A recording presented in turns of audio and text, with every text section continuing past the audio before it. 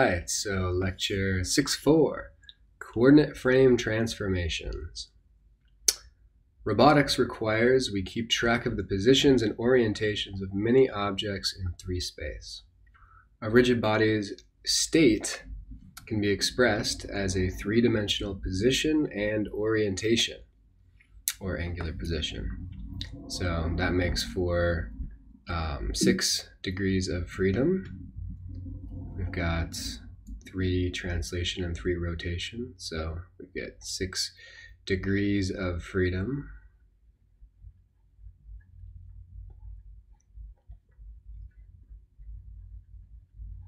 You'll also see this as just DOF. And with a coordinate system, that's a minimum of six coordinates, three translation and three rotation. Um, so that's uh, uh, just in general the requirement for robots in three space. Different objects have different convenient coordinate systems. For instance, a mobile robot might have a body fixed coordinate system with origin at its geometric centroid, x axis pointing forward, y-axis pointing leftward and z-axis pointed pointing upward. So that would be a, a right-handed coordinate system x, y, z. Locating an object in this coordinate system would be different than that of, say, a base station. Consider for a, a mobile robot a two-dimensional body-fixed coordinate system O, world coordinate system W, and pseudo body fixed coordinate system P that is merely a translation of the world coordinate system to the P origin. See figure 6.5. So we've got a body fixed, well, so we've got a, a world coordinate system in 2D, um, x, y sub w. Um, we have this pseudo body fixed coordinate system which is just a copy of the world coordinates fixed to the body at the centroid of the body, say um, xp, and then a true body fixed in translation and rotation, um, the um, uh, xo, yo. Uh, let a point in space in WPO coordinates be represented by the position vector uh, RW or RP or RO. So RW, RP, and RO. RP and RO are on top of each other. See the green is RP, the blue is RO. But um, the uh, coordinate values will be different because in general um, they are not uh, collinear with each other. Let t be a vector uh, from the w origin to the p origin. So it's this offset, it's the, the displacement of the origins. Translation. Suppose the robot can only translate and not rotate. The w and p coordinate transformations are sufficient to describe its motion.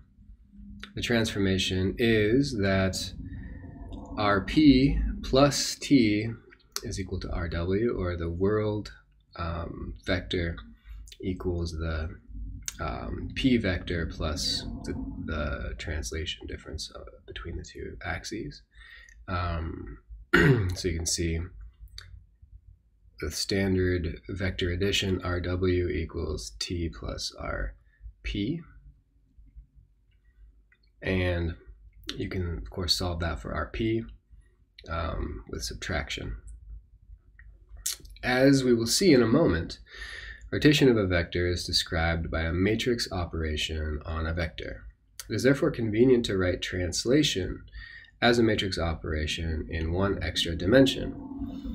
So what we do is we say that our W is equal to a matrix times RP, where we just want that matrix to translate RP by the T vector. So we added one dimension here to our um, to the, the matrix and to uh, RP. So RP now has a 1 in its last dimension, and that 1 allows us to simply add these tx and ty components. Um, so you can write the the uh, vector addition as a multiplication in this way. It's a little bit of a sleight of hand, but it is valid. It does work. Um, the last component then uh, becomes an accounting tool for writing the translation operation in this form, called a homogeneous representation. Um, and you'll see this throughout the literature. Um, it's one of the common ways of representing um, translation in three space for robot coordinate systems. Um, see throughout the literature.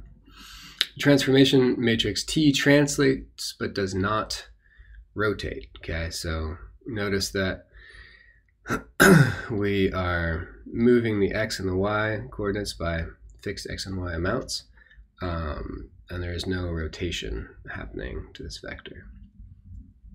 Okay, there's a little exercise here, 6-1. Show that RP is equal to T inverse RW by showing it to be equivalent to equation 6-1b.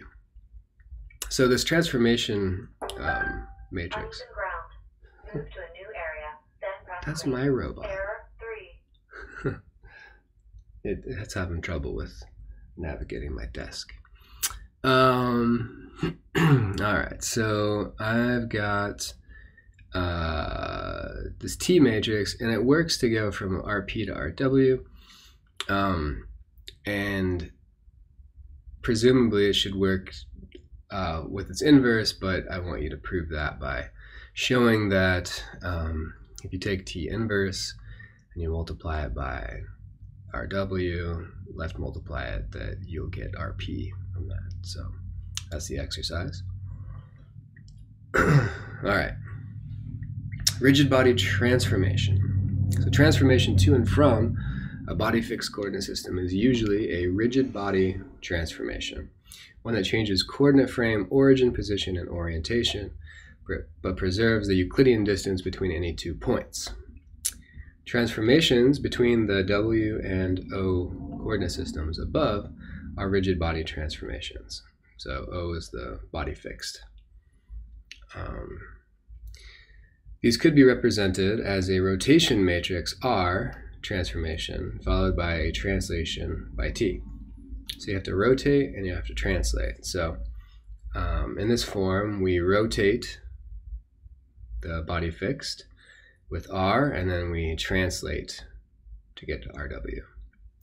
Here, R uh, rotates counterclockwise by theta with this matrix. So this is one of the rotation matrices, um, counterclockwise rotation by theta. So if you want to uh, rotate something um, or a vector uh, counterclockwise by theta, you can multiply that 2 vector by this R matrix 6.4.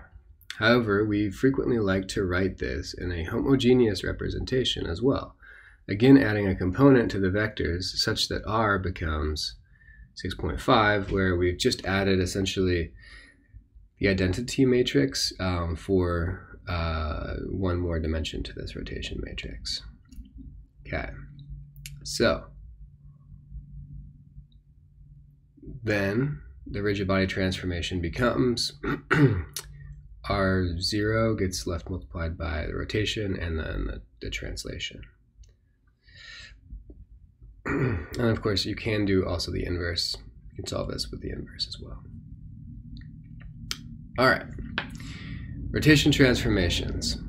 Rotation transformations such as R above come in a variety of flavors. Euler angles, these rotations are described by the sequential notation about a typically body fixed uh, coordinate system, sequential rotation about a typically body fixed coordinate system. The order matters because rotating about one axis changes the directions of the others. Uh, not one, but several conventions exist for Euler angle rotation. So Unfortunately, there's not one agreed upon uh, convention for which one comes first, which one comes second, which comes one comes third. There's not really an agreed upon convention in terms of um, what the notation is. So it's really all over the place. You have to be a little bit light on your toes when you read um, a specific paper or book. Hopefully, they are clear about what they're what they're using for a convention. Um, so then there's fixed angle rotation. Similarly, rotations can be described about the about axes, the origin of which remain fixed to the body, but the orientation of which remain fixed to the world frame. So instead of in the traditional Euler angles, um, you can leave the orientation of your axes the same and then um, rotate the um, uh, the orientation of vectors relative to that. And that is not as common. You'll see it though, so that's called fixed angle. Um, and it's essentially equivalent to Euler angles, but again, uh, it is not um, the sort of doesn't it doesn't follow the conventions that um, you'll see for Euler angles. There are a couple conventions for Euler angles that are more dominant than others. Um, so I'd say fixed angles are less common. Axis angles. Axis angular representations describe a rotation as a unit vector and an angle of rotation about that vector. This actually comes from, uh, interestingly enough, a theorem put forth by Euler about um, a rotation of a body in three dimensions, um, which pretty much states that any rotation of a body can be described by uh, direction, so a, a, unit vector in a specific direction, um, and a rotation about that vector. So um, this this axis angle representation is really nice, and in some ways is um, conceptually pretty straightforward. Uh, it doesn't get used a ton. Um, uh, in part because there are some um, practical reasons why it can be difficult to to account for that. So, um, not as common as Euler angles, which is the most popular of I would say all of these traditionally. It's Euler angles, um, and then the last one, quaternions, are another one that are that are popular. Quaternions are complex numbers with a real part and three instead of the usual one imaginary parts. So it's like a, some real number, plus um, i, so imaginary number i, times b, where b is a real number, plus another imaginary number, j, times another real number, plus k, another imaginary number, d where a, b, c, and d are real numbers. So instead of a plus ib, it's a plus ib plus jc plus kd. So we have essentially four components a real component and then three imaginary components. Um, these are these are a, a, sort of complex number that can represent a coordinate and they can also represent a coordinate, uh, uh, uh, a vector rotation. Um, and they do that by multiplication. So there are these multiplicative forms that you can arrange these quaternions in that will give you rotations of the quaternion coordinate. Um, they can describe rotations in a manner that avoids certain problems. For example, gimbal lock. Uneven ground. Oh, Move to a new area, then press clean. Error 3. So annoying.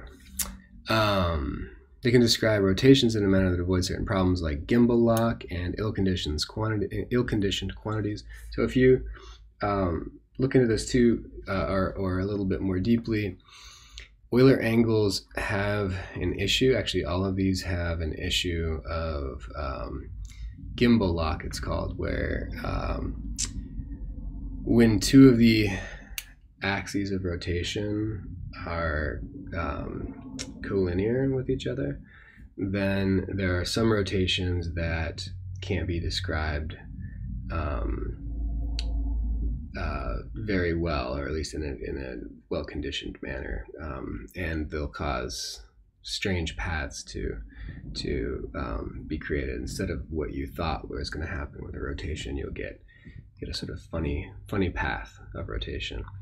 So uh, gimbal lock is an issue that quaternions avoid, um, and they also uh, stay away from being ill-conditioned as well because they are numerically more stable. They don't go into really big quantities or really small quantities. Um, so they're very computationally efficient as well, in part for those reasons, um, in part because you don't have to to um, do as many mathematical operations because a matrix vector uh, product requires a lot more uh, multiplies and additions than um, quaternion multiplication does. So quaternions are pretty great.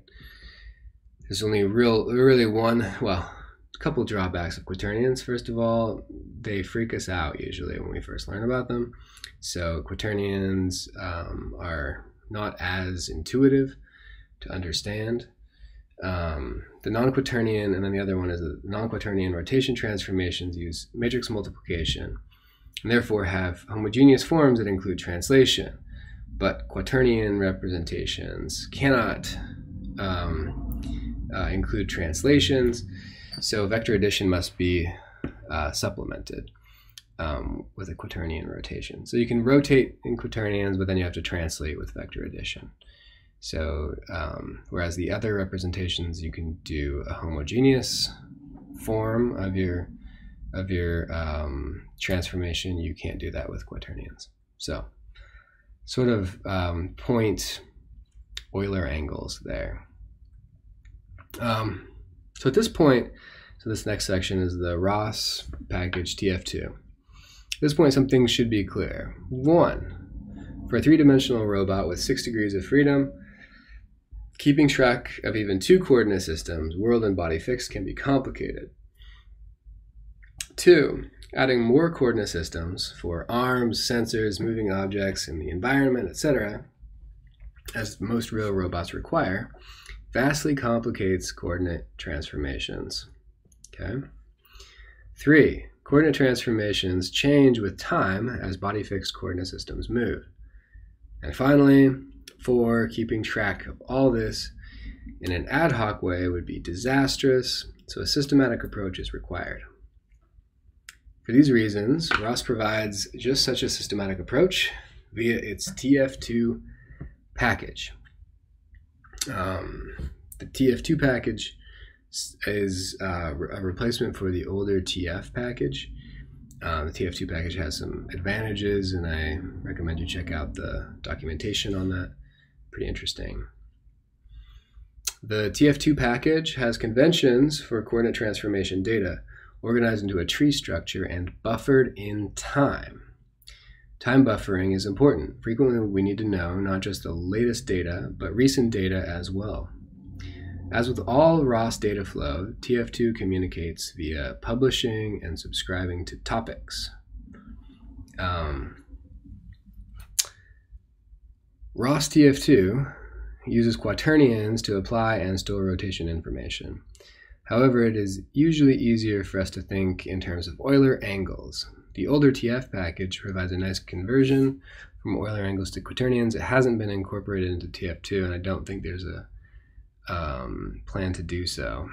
So some people just keep TF around to pull up this sort of um, uh, quaternion Euler transformation. Um, there is some work being done, I, I, believe, to incorporate this into something that you could pull in outside of TF. But uh, for now, this is the way that a lot of people do it. In the usage example above, um, which pulls from the TF transformations Python library. Um, we are pulling in quaternion from Euler as a method, and um, that's what we use. We give it the rotations, the uh, Euler angular rotations about x, about y, about z. Um, and it does it in the, that order, x, y, z. There are other conventions, like I mentioned. Um, so you could do like y, x, y, or y, z, y, or, or, or several. So uh, you can actually change that in here too. There are options for that. Um, so just so you know, if you're not using X, Y, Z for your um, three rotations, then that's okay. You can you can use a different convention. There's an option for that method. So you just look it up. Okay, um, I'll mention that a couple things, a couple gotchas here. TF2 is actually uh, something that can be pulled into um, programs outside of ROS. So there's TF2 and there's TF2 ROS. This is the actual package that we'll be um, uh, using. It'll we'll pull in the Python bindings through this. And for more information on the migration from TF to TF2, see this link here. Okay, we're going to try out TF2. There's this fun little um, uh, tutorial that uses TF2, and you can kind of look into it deeper. And there's a tutorial on the on the ROS.org website. Um, but I just wanted to give you guys a little bit of a taste of it at this point. So, in a terminal window, enter the following to get and compile a Turtle TF2 demo.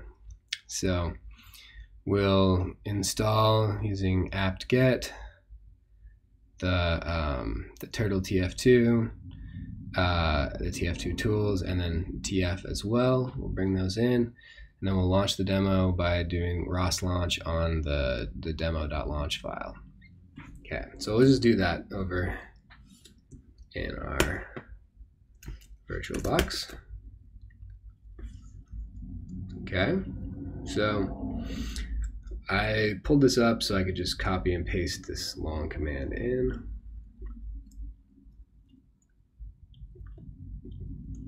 Ah.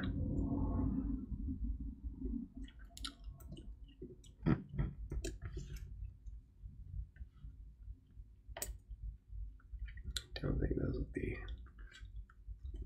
separated, but I'll try it. Yeah, it copied them in oddly. So just a moment. So uh, copying and pasting that code in doesn't actually work. You have to type it in. I, if you were to put this into a bash script, it would work with those line breaks.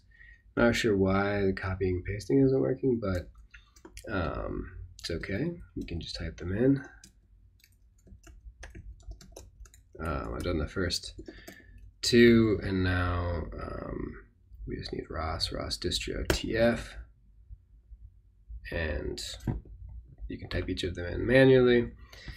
And I had already installed it, so it was um, totally fine already. So it's already the newest version. And yeah, that's great. So um, now finally, we should be ready to go to do a uh, ROS launch. I can actually copy and paste this one. So I'll copy this. I'll paste it in. And we have ourselves a turtle sim. But oh wait, no. No module named NumPy. Oh, that's okay. Um, I ran into this before on the other installation. I have two installations going. Um, this one's the one that's lagging behind that I can show you guys. This one is, is fine if we want to install our um, module NumPy. That's a standard Python library. Let's see what we're working with here. Um, our local version configured. So we're just using the global version, which is our correct 2.7 17. So if I just do pip install uh, uh, numpy, then I'll get that installed. Great. So now I think I should be good to launch this demo. Great. So now I need to um, move the red turtle around with my um, arrow keyboard buttons. Um, and but I need to have uh, the terminal window selected to control it. So if I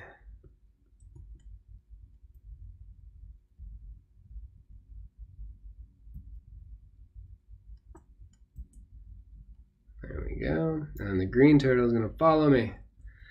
So the idea here, why this is in the TF2 tutorials, is that the only way that the green turtle and the red turtle can, well, the only way that the green turtle can communicate uh, to figure out where the red turtle is, is via TF2 coordinate transformations.